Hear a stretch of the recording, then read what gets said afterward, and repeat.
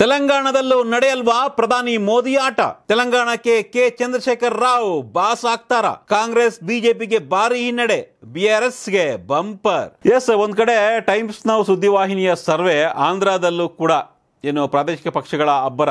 ನರೇಂದ್ರ ಮೋದಿ ಹಾಗೂ ಬಿಜೆಪಿಗೆ ಅಲ್ಲಿ ಒಂದು ಸ್ಥಾನವೂ ಸಿಗಲ್ಲ. ಆದರೆ ಜಗನ್ಗೆ ಸೀಟ್ ಬಂದರೆ ಅದು ಬಿ ಜೆ ಪಿಗೆ ಲಾಭ, ಅಥವಾ ಎನ್ ಡಿ ಎ ಮೈತ್ರಿಕೂಟಕ್ಕೆ ಲಾಭ ಅನ್ನೋ ಒಂದು ಲೆಕ್ಕಾಚಾರದಲ್ಲಿ ಜಗನ್ಗೆ ಪಾಸಿಟಿವ್ ಆಗ್ಬೋದು. ಅದು ಕೂಡ ಮೋದಿಗೆ ಲಾಭ ಆಗುತ್ತೆ ಅನ್ನೋ ಒಂದು ಚರ್ಚೆ ಆಗ್ತಾ ಇದೆ ಒಂದು ಕಡೆ. ಮತ್ತೊಂದು ಕಡೆ ತೆಲಂಗಾಣ. ದಕ್ಷಿಣ ಭಾರತದ ಮತ್ತೊಂದು ಪ್ರಮುಖ ರಾಜ್ಯ ತೆಲಂಗಾಣ.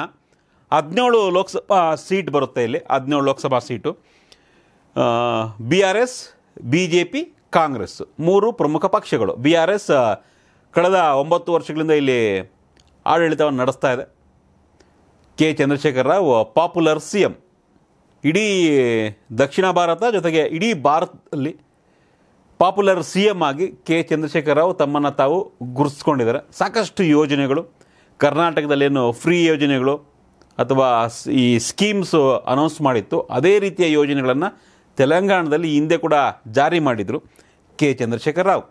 ಸೊ ಈ ಹಿನ್ನೆಲೆಯಲ್ಲಿ ಈ ಬಾರಿ ಬದಲಾವಣೆ ಆಗಬಹುದಾ? ಬಿ ಜೆ ಪಿ ಅಥವಾ ಕಾಂಗ್ರೆಸ್ ವಿಧಾನಸಭಾ ಚುನಾವಣೆ ಕೂಡ ಬರುತ್ತೆ. ತೆಲಂಗಾಣಕ್ಕೆ ಲೋಕಸಭಾ ಚುನಾವಣೆಗೂ ಮುನ್ನವೇ ವಿಧಾನಸಭಾ ಚುನಾವಣೆ ಬರುತ್ತೆ. ಹೀಗಾಗಿ ಏನಾದರೂ ಚೇಂಜಸ್ ಆಗಬಹುದಾ ಅನ್ನೋ ನಿರೀಕ್ಷೆ ಇತ್ತು. ಬಟ್ ಟೈಮ್ಸ್ ನಾವು ಸುದ್ದಿವಾಹಿನಿಯ ಒಂದು ಸರ್ವೆ ಏನಿದೆ? ಆ ಸರ್ವೆಯಲ್ಲಿ ಬಿ ಆರ್ ಎಸ್ ಅಂದರೆ ಭಾರತ ರಾಷ್ಟ್ರ ಸಮಿತಿ ಒಂಬತ್ತರಿಂದ ಹನ್ನೊಂದು ಸ್ಥಾನ ಗೆಲ್ಲಬಹುದು. ಹದಿನೇಳರಲ್ಲಿ ಹನ್ನೊಂದು ಮ್ಯಾಕ್ಸಿಮಮ್ ಗೆಲ್ಲಬಹುದು ಕೆ ಸಿ ಆರ್ ಪಕ್ಷ ಬಿ ಜೆ ಪಿ ಎರಡರಿಂದ ಮೂರು ಗೆಲ್ಲಬಹುದು, ಕಾಂಗ್ರೆಸ್ ಮೂರರಿಂದ ನಾಲ್ಕು ಗೆಲ್ಲಬಹುದು ಅನ್ನೋದು ಟೈಮ್ಸ್ ನೋ ಅವರ ಸರ್ವೆಯ ಒಂದು ಸಾರಾಂಶ.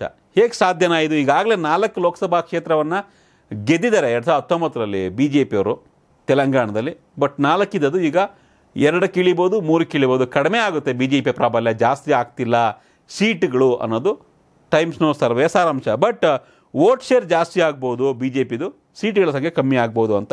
ವೋಟ್ ಶೇರ್ ವಿಚಾರಕ್ಕೆ ಬಂದಾಗ, ಬಿ ಆರ್ ಎಸ್ ತೆಲಂಗಾಣದಲ್ಲಿ ಮೂವತ್ತೆಂಟು ಪಾಯಿಂಟ್ ನಾಲ್ಕು ಪರ್ಸೆಂಟ್ ವೋಟ್ ಪಡೆದ್ರೆ ಬಿ ಜೆ ಪಿ ಇಪ್ಪತ್ತ್ಮೂರು ಪಾಯಿಂಟ್ ಮೂರು ಪರ್ಸೆಂಟ್ ವೋಟ್ ತಗೊಳುತ್ತೆ. ಕಾಂಗ್ರೆಸ್ ಇಪ್ಪತ್ತೊಂಬತ್ತು ಪಾಯಿಂಟ್ ಒಂಬತ್ತು ಪರ್ಸೆಂಟ್ ಓಟನ್ನು ಪಡಿಬಹುದು ಅನ್ನೋದು ಟೈಮ್ಸ್ನೋ ಲೆಕ್ಕಾಚಾರ. ಸೊ ಇಲ್ಲಿ ಪ್ರಮುಖವಾಗಿ ಬಿ ಆರ್ ಎಸ್ ಮೂವತ್ತೆಂಟು ಪಾಯಿಂಟ್ ನಾಲ್ಕು ಪರ್ಸೆಂಟ್ ಓಟು ಅಂದರೆ ಈ ಎರಡೂ ಪಕ್ಷಗಳಿಗಿಂತ ಜಾಸ್ತಿ ಓಟ್ ಪಡಿತಾ ಇದೆ. ಬಿ ಜೆ ಪಿ ಮತ್ತು ಕಾಂಗ್ರೆಸ್ ಓಟನ್ನು ಸ್ಪ್ಲಿಟ್ ಮಾಡ್ತಾ ಇದೆ. ಬಿ ಜೆ ಪಿಯ ಓಟುಗಳು ಬಿ ಜೆ ಪಿಗೆ ಹೋಗುತ್ತೆ, ಕಾಂಗ್ರೆಸ್ನ ಓಟುಗಳು ಕಾಂಗ್ರೆಸ್ಗೆ ಬರುತ್ತೆ. ಕಾಂಗ್ರೆಸ್ ಮತ್ತು ಬಿ ಜೆ ಪಿ ವಿರೋಧಿ ಮತಗಳನ್ನು ಒಗ್ಗೂಡಿಸ್ಕೊಂಡಿರ್ತಕ್ಕಂಥ ಬಿ ಆರ್ ಎಸ್ ತನ್ನ ಸಾಂಪ್ರದಾಯಿಕ ಮತಗಳನ್ನು ಬಿಟ್ಕೊಟ್ಟಿಲ್ಲ. ಹೀಗಾಗಿ ತೆಲಂಗಾಣದಲ್ಲಿ ಈ ಬಾರಿ ಕೂಡ ಕೆ ಸಿ ಆರ್ ಬಾಸ್ ಆಗ್ತಾರೆ. ಇದು ಲೋಕಸಭಾ ಚುನಾವಣೆ ಲೆಕ್ಕ. ಆದರೆ ಲೋಕಸಭಾ ಚುನಾವಣೆಗೂ ಮುನ್ನ ಇದೇ ಡಿಸೆಂಬರ್ಗೆ ತೆಲಂಗಾಣದಲ್ಲಿ ವಿಧಾನಸಭಾ ಚುನಾವಣೆ ಆಗುತ್ತೆ. ಹಾಗಾಗಿ ವಿಧಾನಸಭಾ ಚುನಾವಣೆಯಲ್ಲೂ ಕೂಡ ಕೆ ಸಿ ಆರ್ ಬಾಸ್ ಆಗ್ತಾರೆ. ಕೆ ಸಿ ಆರ್ ಗೆಲ್ತಾರೆ. ಮತ್ತೆ ಸಿ ಎಂ ಆಗ್ತಾರೆ ಅನ್ನೋದು ಸರ್ವೆಯಲ್ಲಿ ಕಂಡು ಬಂದಂತಹ ಮಾಹಿತಿಗಳು. ಸೊ ಹಾಗಿದ್ರೆ ಇಲ್ಲೂ ಕೂಡ ಮೋದಿ ಮ್ಯಾಜಿಕ್ ನಡೆಯಲ್ವಾ ಅಂದರೆ ಡೆಫಿನೆಟ್ಲಿ ಇಲ್ಲ. ಆಂಧ್ರದಲ್ಲಿ ಹೇಗೆ ಜಗನ್ಮೋಹನ್ ರೆಡ್ಡಿಗೆ ಜನ ಓಟ್ ಹಾಕ್ತಾರೋ ಅದೇ ರೀತಿ ತೆಲಂಗಾಣದಲ್ಲಿ ಇಲ್ಲಿ ಕೆ ಸಿ ಆರ್ಗೆ ಜನ ಮತವನ್ನು ಕೊಡ್ತಾ ಇದ್ದಾರೆ ಪಾಪ್ಯುಲರ್ ಸಿ ಎಂ ಅನ್ನೋ ಕಾರಣಕ್ಕಾಗಿಯೇ ಜೊತೆಗೆ ಬಿ ಜೆ ಪಿ ಒಂದು ದೊಡ್ಡ ಮಟ್ಟದಲ್ಲಿ ಕ್ಯಾಂಪೇನ್ ಎಲ್ಲ ಮಾಡಿದ್ರು. ಸಂಜಯ್ ಬಂಡಿ ಅವರ ಅಧ್ಯಕ್ಷತೆಯಲ್ಲಿ ತುಂಬ ರೆಬಲ್ ಆಗೋಯ್ತು ಬಿ ಜೆ ಪಿ ಆದರೆ ಈಗ ಅಧ್ಯಕ್ಷರ ಬದಲಾವಣೆ ಆಗಿದ್ದಾರೆ. ತೆಲಂಗಾಣ ಬಿ ಜೆ ಪಿ ಕೂಡ ಮೊದಲಿನಷ್ಟು ಸ್ಟ್ರಾಂಗ್ ಇಲ್ಲ ಅನ್ನೋ ಮಾತು ಕೇಳಿ ಬರ್ತಾ ಇದೆ. ಜೊತೆಗೆ ಬಿ ಜೆ ಪಿ ಮೊದಲ ಸ್ಟ್ರಾಂಗ್ ಇಲ್ಲ ಅನ್ನೋದಕ್ಕಿಂತ ಹೆಚ್ಚಾಗಿ ಕಾಂಗ್ರೆಸ್ ತೆಲಂಗಾಣದಲ್ಲಿ ಮೊದಲಿಗಿಂತ ಜಾಸ್ತಿ ಸ್ಟ್ರಾಂಗ್ ಆಗಿದೆ. ಹೀಗಾಗಿ ಬಿ ಜೆ ಪಿಯ ಮತಗಳನ್ನು ಕಾಂಗ್ರೆಸ್ ಸೆಳೆದುಕೊಳ್ತಾ ಇದೆ ಹೊರತು ಬಿ ಆರ್ ಎಸ್ ಮತಗಳನ್ನು ಕಾಂಗ್ರೆಸ್ ಸೆಳೆಯೋದರಲ್ಲಿ ವಿಫಲ ಆಗ್ತಾ ಇದೆ. At the same time Congress ಮತ್ತು ಬಿ ಜೆ ಪಿ ಎರಡೂ ಪಕ್ಷಗಳು ಕಾಂಗ್ರೆಸ್ನ ಮತಗಳನ್ನು B J P B J P ಮತಗಳನ್ನು ಕಾಂಗ್ರೆಸ್ ಡಿವೈಡ್ ಮಾಡ್ತಾ ಇದ್ದಾವೆ ವಿನಃ ಬಿ ಆರ್ ಎಸ್ ಮತಗಳ ಬುಟ್ಟಿಗೆ ಬಿ ಜೆ ಪಿ ಆಗಿರ್ಬೋದು ಅಥವಾ ಕಾಂಗ್ರೆಸ್ ಆಗಿರ್ಬೋದು ಎರಡೂ ಓಟನ್ನು ತೆಗೆದುಕೊಳ್ತಾ ಇಲ್ಲ. ಬಿ ಆರ್ ಎಸ್ ಪುಟ್ಟಿಯಿಂದ ಇವೆರಡೂ ಪಕ್ಷಗಳು ಓಟನ್ನು ಕೀಳಕ್ಕಾಗ್ತಾ ಇಲ್ಲ.